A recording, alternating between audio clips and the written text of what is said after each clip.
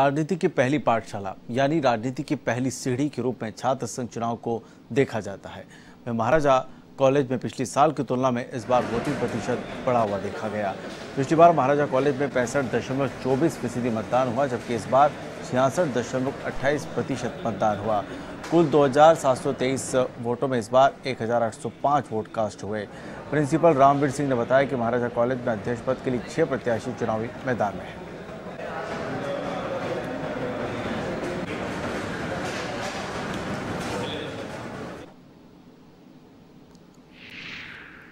College में जो कुल मतदाताओं की संख्या 2723 थी और इसमें से 1805 वोट कास्ट हुए हैं। जिस तरह से मतदान का जो प्रतिशत है वो छियासठ पॉइंट टू एट छियासठ पॉइंट दो आठ रहा हुआ है।